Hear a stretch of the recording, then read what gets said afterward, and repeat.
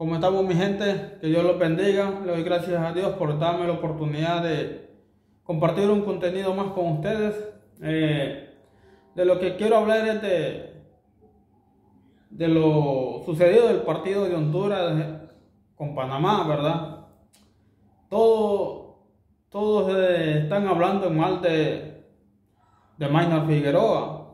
No quería tocar este tema, ¿verdad? Porque si uno habla de uno, tiene que hablar de todos, ¿verdad? Porque no solo él tuvo la culpa, fue un error de él, ¿verdad?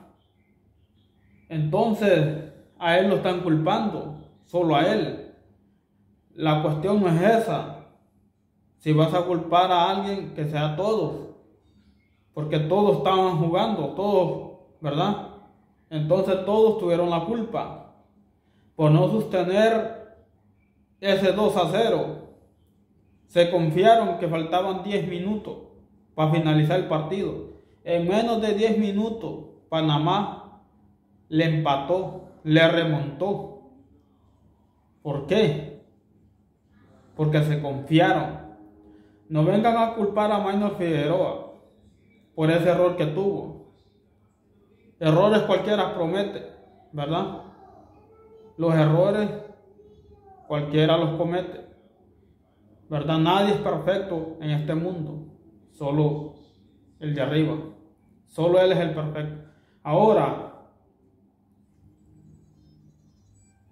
también, ¿verdad? Fue un error que Él tuvo que recapacitar y aceptar que fue error del el gol. Pero no es para venir a echarle la culpa a él, venir a insultarlo a él. Él, él le ha dado mucho a la selección de Honduras. Él nunca le ha dicho no a la selección de Honduras. Para que uno venga a insultarlo a él. Y otra cosa. Ese partido se lo robaron a Honduras. Ese fue un robo que le hicieron a Honduras. ¿Dónde carajo estaban los líneas? ¿Dónde carajo estaba el árbitro? Viendo que esos dos jugadores de Panamá estaban offside. Y así le valió el gol. Pero hubiera sido la selección de Honduras. Ese desgraciado de línea, el árbitro, lo que, todos los que andan ahí, hubieran pitado offside el que andaba la bandera esa, el banderín de la línea, bien hubiera levantado la bandera si hubiera sido jugadores de Honduras que estaban en offside. No le hubieran valido el gol.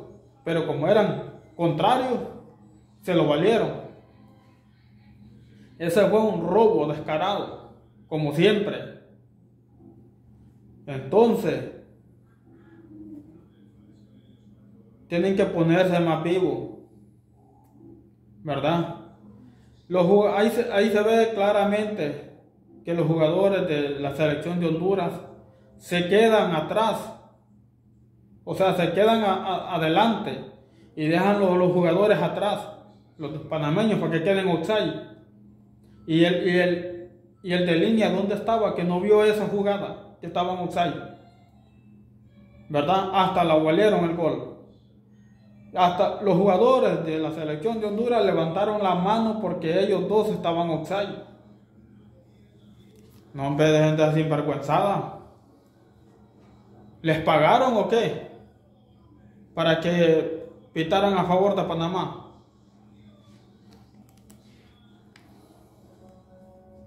Entonces mi gente no quería tocar ese tema de, de, de Figueroa porque si uno va a hablar de, de uno, tienen que hablar de todos, porque todos están jugando, todos tienen la culpa, ¿verdad? Maynor Figueroa se confió. También el portero vio que Maynor Figueroa no avanzaba, él hubiera seguido corriendo hacia la pelota, sino que se detuvo también. Entonces no vengamos a culpar al hombre. Hablen, hablen en general. Y además, vieron el partido, vieron que ese partido se lo robaron a Honduras, porque ese era Oxay, no era gol. El segundo gol era Oxay. ¿Verdad? Así que mi gente, apoyemos siempre, no solo en las buenas, también en las malas hay que apoyar a la selección. Hay que, cuando ellos cometan un error, sí hay que sacarle los trapos al sol para que maduren en el fútbol, ¿verdad? Hay que sacarle los trapos al sol, pero no hay que dejar de apoyar la selección. Si un jugador comete un error, sácale los trapos al sol para que agarre escuela el desgraciado. Pero eso no quiere decir que uno tiene que dejar de apoyar la selección, ¿verdad? Sino que hay que darle duro para que entienda cómo dejaron ir un partido de 2 a 0 ya cuando iba a finalizar el partido. Lo dejaron ir de las manos, ¿verdad? Qué desgracia, mano, con estos jugadores que no, no supieron sostener el partido. Diez minutitos. ¿Ah?